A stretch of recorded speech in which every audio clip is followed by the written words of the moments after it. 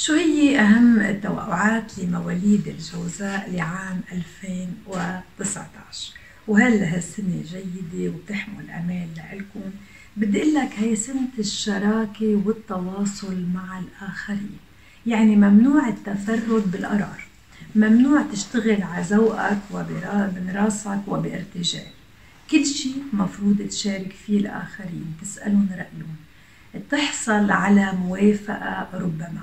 أو على نوع من التفاهم مع الأطراف الأخرى.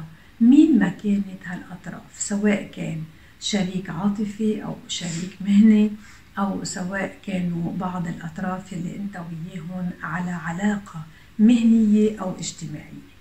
في انفتاح على أطراف كتير جديدة بهالسنة هي بتلعب دور بحياتك بتكون لك الملاذ في بعض الأحيان. أو بتشكل تحدي في أحيان أخرى. يعني أنت بتتأثر بالآخرين بهالسنة فحاول أنك تنقيهم منيح. حاول أنك تعرف أنه يكونوا هالأشخاص جيدين بحياتك وأوعى أنك تسيء الاختيار. هاي سنة الاستثمارات المالية كمان والأرباح لكنها بتكشف عن ثغرات. انتبه. ببعض العقود والملفات يلي لازم تعيد النظر فيها. بتدرك إنه الحقيقة ما بتشبه دايما الوعود بس بدهم يوعدوك واو بكبروا الأمور. ما تصدقها دايما بتكون أقل بكتير من الكلام الذي يقال.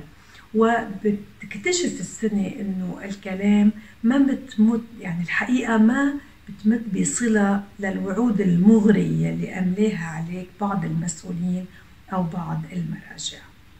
بخيب ظنك؟ إيه شوي. مع إنه أنت الجوزاء عادة تطلع من المشاكل بسرعة. يعني عندك قدرة على عدم الغوص ببعض المشاكل والمآسي. قادر إنك تنتفض على بعض الواقع وإنك تواجه هالأمور بأعصاب متينه وهيدا الشيء بيميزك دايما. بيبتسم الحب كمان وبتحمل لك الأفلاك ارتباط أو زواج أو علاقة عاطفية مميزة. بس كمان بالمقابل يمكن يكون في فك ارتباط يعني سنه يا ارتباط يا فك ارتباط. ليش؟ لأنه جوبيتر ببرج القوس يعني بمواجهة برجك. يما بيعطيك الحظ كتير بطريقة مفاجئة إلها علاقة بشراكة أو بيحجب عنك في بعض الأحيان هيدا الحظ أو بيوقعك ببعض الأفخاخ. إذا كانت مثلا علاقتك متوترة أنت مقبل على انفصال ولو بدنا نسميه انفصال ودي. من الممكن كمان عزيزي الجوزاء وهذا مش غريب عنك إنك تضحي باستقرارك من أجل حب أو غرام قد يولد فجأة. يعني بتوقع بالغرام وبتجي بتخربط حياتك ربما أو بتحاول إنك تتقرب من هالحبيب على حساب استقرارك وحياتك يمكن العائلية. على كل حال بتعيش السنة مغامرة لا تتسع ويمكن تترك مكان من أجل مكان آخر أو تترك حبيب من أجل حبيب جديد.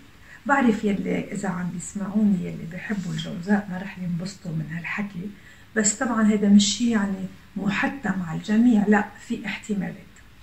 تهتم السنة بشؤون مصرفية وعقارية وتأمينية وضرائبية يعني الشؤون المالية بتستحوذ على كتير من اهتمامك وتفكيرك أما إذا واجهتك مصاعب فهالسنة بتحمل لك دعم غير متوقع من فئة قادرة أو من بعض الفئات وبالمقابل عندك منافسة كتير شديدة يعني رح يكون عندك مشكلة من منافسة قوية رح توقف بوشك دعم من ميلة ومنافسة من ميلة. آه، أرباح من ميلة وبعض الخيبات من ميلة تاني يعني سنة شوي متموجة بس بالإجمال فيها مغامرات وفيها أحلام سعيدة. على الصعيد الشخصي بيشهد شهرين من السنة هن أيار ماي وحزيران جون حدث عائلي مهم أو مناسبة بتحتفل فيها. بفصل الصيف بتحقق حلم بعد فترة من السعي. بيجي الصيف وبيحقق لك حلم. بنهاية السنة في عندك مصالحة. يعني إذا أنت اختلفت أنت وشخص أو إذا كنت على جفاء مع بعض الفئات بتعرف بآخر السنة مصالحة ويمكن عودة إلى مكان افترقت عنه أو اختلفت أنت وأصحاب. هيدي هي بالإجمال السنة مع تفاصيل كتيرة طبعا بالكتاب. وكل شهر أنا على موعد معكم شهريا تنعطي بالتفصيل شو بيصير معنا وشو هي التوقعات الجديدة.